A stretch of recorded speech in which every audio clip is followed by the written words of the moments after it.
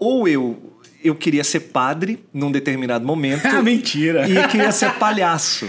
É me... padre. Não, Ou tudo palhaço. tem tudo a ver, né? Você viu que.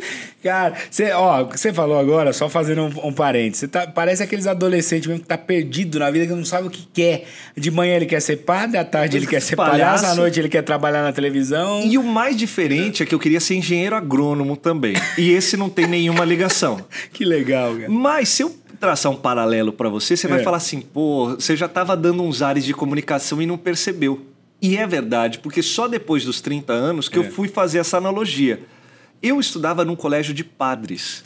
Você estudou então no Estudei colégio de no padre? Colégio Agostiniano São José, Que no legal. colégio de padres. E os padres, eles faziam o quê? Eles seguravam o microfone e falavam no microfone. É. Na minha época, na TV Gazeta tinha um programa chamado Brincando na Paulista, que era apresentado pelo Atim Espirro, e tinha o programa Bozo no SBT, Tá.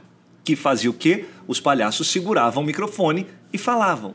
Olha. Eu queria fazer aquilo, mas eu não sabia que ser comunicador era isso. Eu achava que para segurar o microfone, Tá. eu tinha que ser padre Palhaço ou palha- palhaço. Exatamente. Olha aquilo. Entendeu? Agora imagina o Tiago, padre, cara. Erguei Padre, as mãos e. Tiago Rocha, padre. Não, e o pior é que, como você já tem essa veia, você tem uma, uma veia ali pro negócio da fofoca. Isso, Mas aí- isso, é, isso é fato. Por isso que você faz tanto sucesso no que você faz. Bondade sua. Agora imagina você, padre, as pessoas confessando com você. Já e você imaginou? já fazendo meio que uma fofoca da.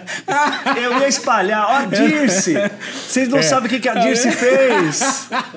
Imagina na O missa. João. Aí no dia do domingo na missa ele é assim, irmãos, vocês têm que tomar muito cuidado, principalmente as pessoas, com a questão da traição, né? Porque alguns irmãos sabem, né? Que anda fora da linha, já, já dando a letra. A né? irmã Thelma. A irmã Thelma.